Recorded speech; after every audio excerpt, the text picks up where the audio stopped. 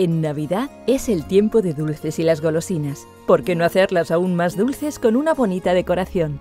Este centro de mesa con flores de Pascua y caramelos blancos y rojos gustará a todo el mundo, no solo a los más golosos.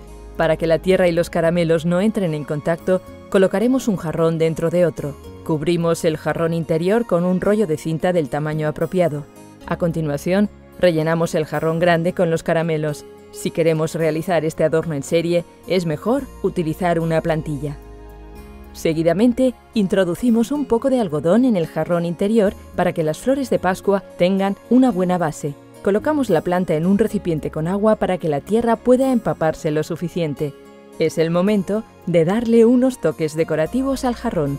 En primer lugar, utilizaremos alambre de aluminio de colores. Con el alambre formamos un círculo con ondas.